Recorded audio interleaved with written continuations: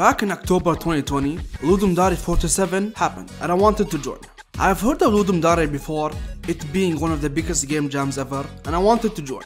The theme was Stuck in a Loop, which is an absolutely terrible theme. Like, are you gonna make a roller coaster game or just a train game? So, yes, I didn't like it at all and was struggling to find an idea. I then looked at the list of my old ideas and found one of them that could thematically fit it. It was a game where each enemy is a different version of yourself, someone who took a different path.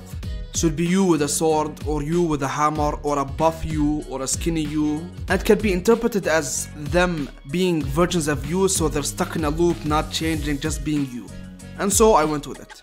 Because I never learned, like my first Game Jam game, I wanted it to be a 3D Souls-like, but this time not an RPG. This time instead of building my own, I found a half-complete project of a Souls-like, and I modified it. It had the basic movement, dodging, attacking, and all consistent, so I didn't have to make those and they were pretty smooth in the game. I just added more animations, sound effects, conditions for the weapons and attacking, and a poise system. After doing the basic gameplay, I thought of the theme. I wanted it to be about the Sandman, the one who gives dreams. And you would be someone who entered the temple because of your dead wife, wanting to resurrect her. And in the temple, you find the Sandman himself and other versions of you that you must fight.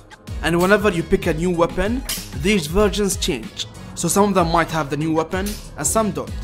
I decided that there would be four types of enemies. The zombies, which don't use any weapons and are very slow the balanced, which can use any weapon and have basically the same stats as you, the fasties, much faster than you but weaker, and the slowies, which are the opposite. And a boss who is a Sandman version of you, just a larger version with sand going all over him. As for the weapons, there were three of them. A short sword, a long sword, and an axe. The fasties would mostly use the normal sword, the slowies the axe, and the balanced can use any one of them. And the boss would use an axe. Each enemy can decide on weapon randomly and every time you respawn, the enemies change slightly. So after that, I blocked out the main level and added some sand textures to the walls. And then I scattered the enemies all around. As for the objective of the game, there will be 3 magical gems, you need to collect 2 of them in order to fight the boss. So after scattering the gems, adding some bonfires, and some sound effects that I made using my voice. I playtested the game and it was quite fun, much better than the first one, although a bit on the difficult side, but still fun. There were some bugs here and there, especially with the sound effects, some enemies accidentally climbing on the walls, but I was rushing slightly so I didn't fix them. After defeating the boss, you'd have three choices for multiple endings.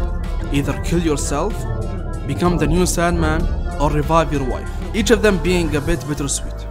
After that, I added some tutorial text, recorded some voice lines for the Sandman, Jonas who is the main character, and then I created a main menu to allow you to play, reload, change the settings and so on. I also wanted the main menu to be more interesting, so I made it so that every time you click, a sand waterfall would spawn, just to make it a bit more interesting and fun.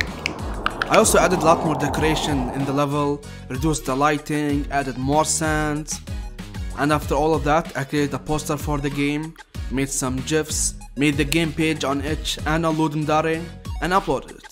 Overall, it got very decent reviews. A lot of people enjoyed the atmosphere with all the sand, the muffled noises, and so on, but a lot complained about the controls being clunky, especially on mouse. Which is definitely my fault, I should have paid more attention to making them smoother. But you live and you learn. Overall, it got the rank of 1192, which is not terrible for a jam with thousands and thousands of games.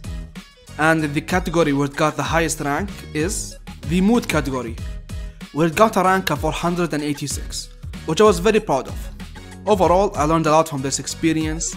It reminded me a lot of my first Game Jam game, but much much better, and I feel that I learned a lot. And thank you for watching.